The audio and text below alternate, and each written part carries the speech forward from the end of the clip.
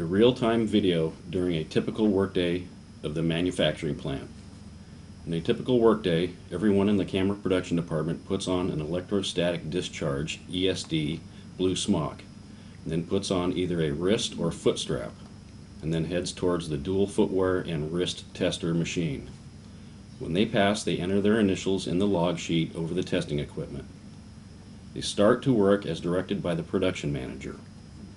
Before they start to work at their workstation or work cell, they need to have either a picture of the final assembly, pictures of the needed parts before and after assembly, or they have work instructions and a wiring diagram. The justification for the pictures is that WTI has no need for multiple work instructions in various languages. They will continue until their tasks are completed. They go back to the production manager and get a new assignment as needed. The camera production department personnel have been cross-trained in many of the cells, so they can do many different things within the work cells as needed. Plant equipment, machinery, special tooling, and related documents used in workstations or work cells. The following is a partial list of the main machines used by WTI's production department. Wire stripper and cutting machine. Used to get very accurate and repeatable lengths of wires of various gauges. Crimping machine. Used for crimping wires to pins for insertions into header components.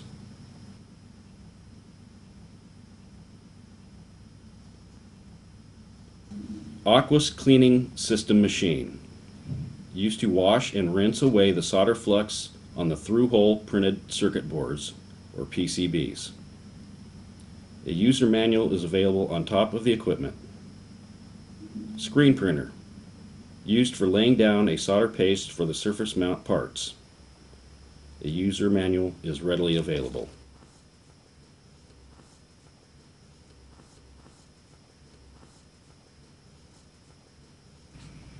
Surface Mount Technology Machine, or SMT.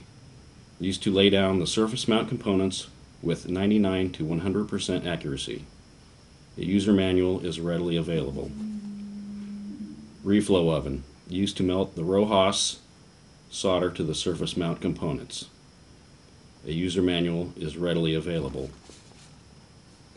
Support slash test equipment and relevant documents used in workstations. Most of the camera production department personnel use WTI birth certificate. Solo Pro and Solo Terra uses Form 008 Revision A. AIS Series and Sidewinder uses Form 5000 Revision A. Ambervision uses Form 5090 Revision B.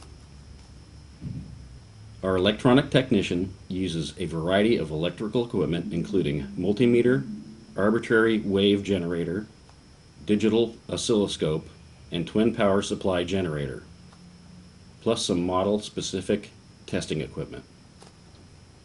All the above equipment has its specific use, including working instructions or schematics depending on camera model to be tested.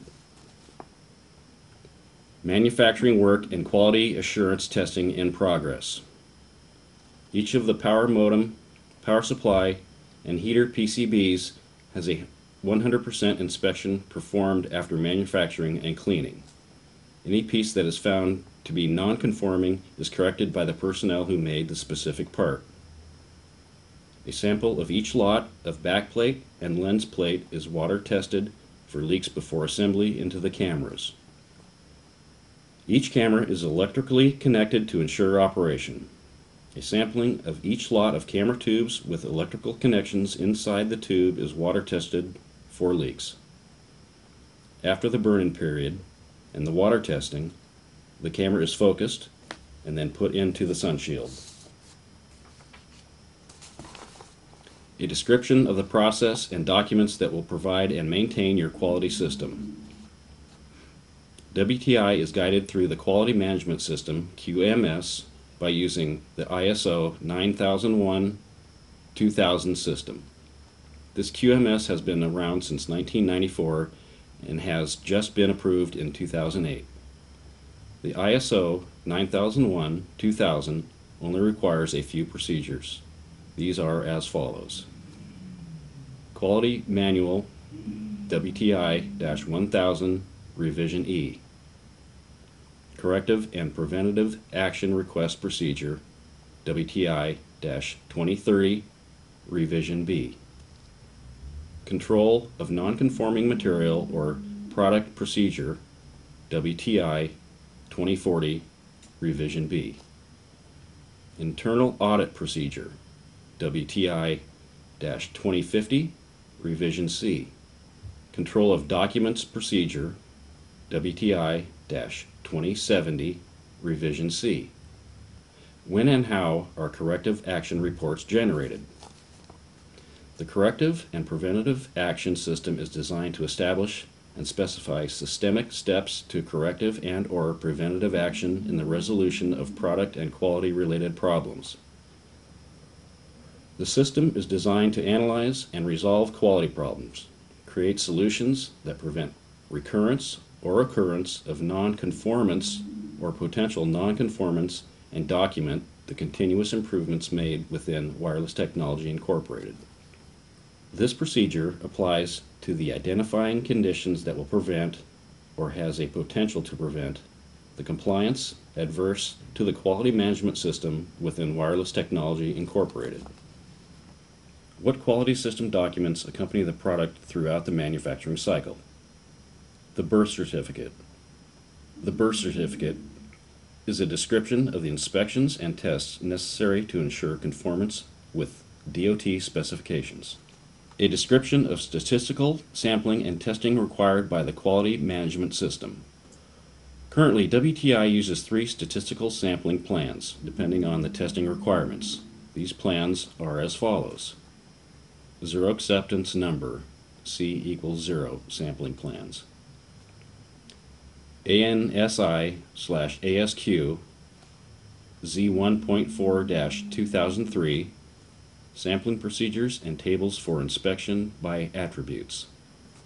ANSI slash ASQ Z1.9 2003 Sampling Procedures and Tables for Inspection by Variables for Percent Non-Conforming.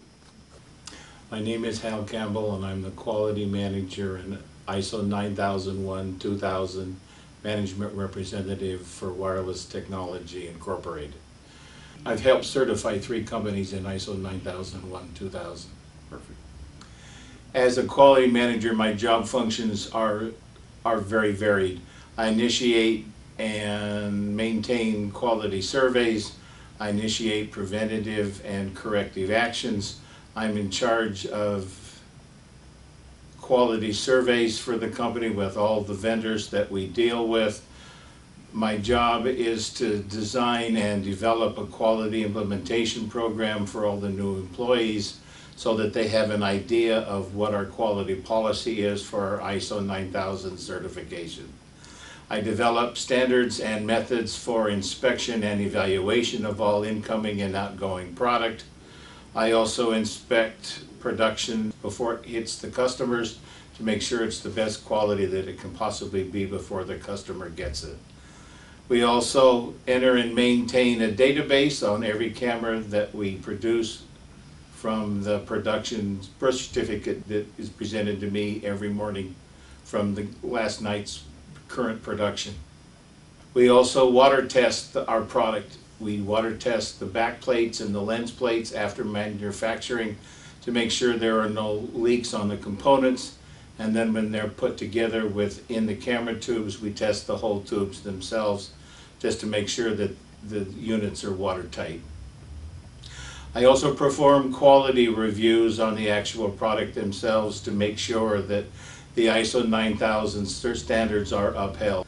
I'm also the team leader for the quality internal audits. That means that we audit all the things that we claim that we're supposed to be doing, that we actually do do what we claim we're going to do in the written instructions.